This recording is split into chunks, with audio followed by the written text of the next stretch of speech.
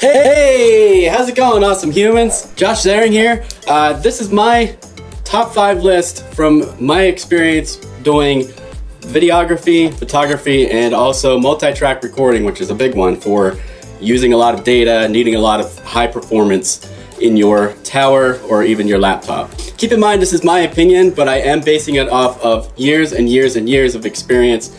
Um, there are some things that I've upgraded in the past where I did notice a huge difference. There are things that I've upgraded that I noticed almost no difference.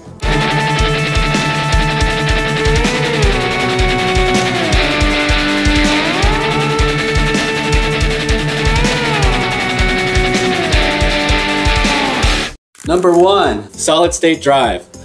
Upgrading the solid state drive is like buying a new computer for a lot of machines. They are much faster to boot. They are much faster to load your programs, much faster at pretty much everything.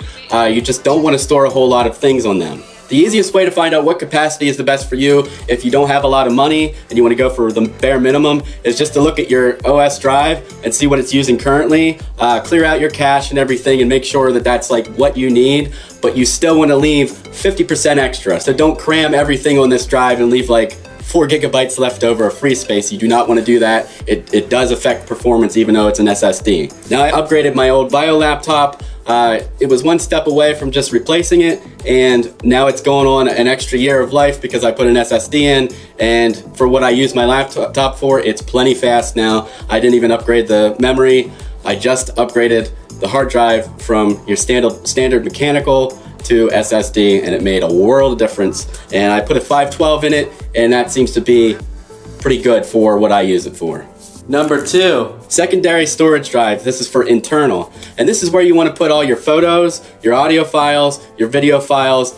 And when you pull from a secondary drive that's not the OS, that doesn't have the OS or any programs or anything, it is so much faster. And this is more performance and more bang for your buck here because here you don't want an SSD, you just want the, the biggest mechanical drive you can get, 7200 RPM mechanical hard drive with the spinning platters. I want to throw in a 2.5 here for hard drives. Uh, I realize I'm hanging on the hard drive, so I did not make this number three. If you throw in an external hard drive that's USB 3, 3C, or even Thunderbolt, that is your backup drive. And that can also be used between machines easily. You just unplug it and plug it into your other machine. It's great for backup. And I like to keep two to three copies of everything I'm doing at all times because of paranoia that I'm gonna lose what I'm working on or lose what I just finished or anything like that. I currently use a four terabyte uh, Western Digital MyBook, and uh, two or three other external hard drives just in case. Number three, as much memory as you can get.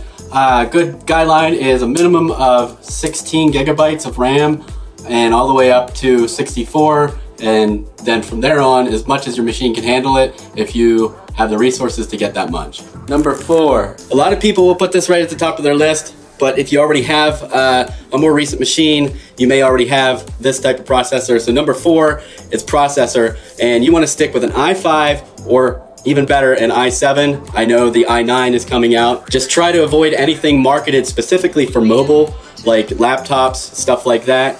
Uh, avoid Celeron, anything that's not i5, i7, i9, or even more beefy than that.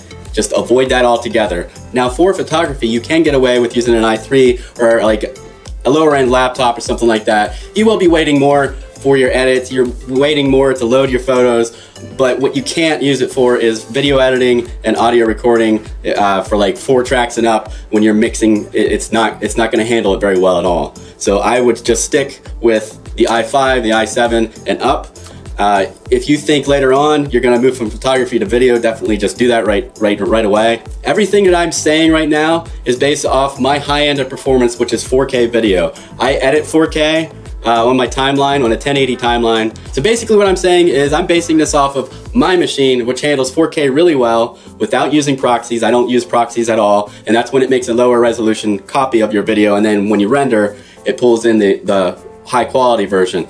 So one through four so far, that's what I'm basing it on. If you're uh, doing only photography and have no plans of doing anything further than that, uh, you can you can move down a little bit further in performance, move down a little bit more in cost. Number five, this was almost a, a top four, but I decided to throw the video card in there for certain people uh, and certain reasons. If you're a gamer, get the best video card you can. This is for content creation, so I'm gonna go with don't get anything lower than a four gigabyte card.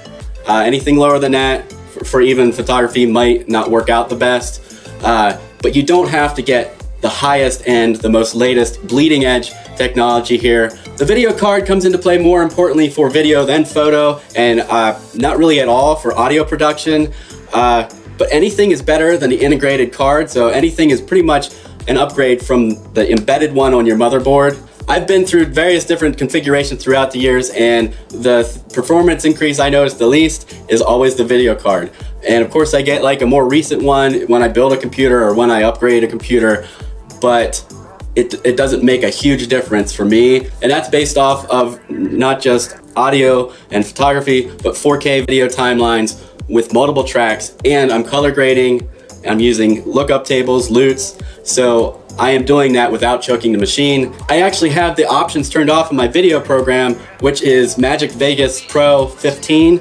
Um, I have it unchecked because it rendered slower. It seemed to be more sluggish when it was trying to use the video card to do certain things. Now that's just my machine. I'm sure there's other machines that work better with it on, but this is just my experience and this is my opinion. So don't shoot the messenger here. So those are my top five biggest things that I upgrade personally for my machines. If you want to reorder this list or just tell me that I'm wrong, go ahead and do that in the comments. I'm all up for suggestions. Trying to keep this video short and sweet. I'm gonna try and do some more of these top five, top three uh, videos because there's a lot of opinions that I have related to content creation that I can I can easily rattle off. This is what works and this is what doesn't.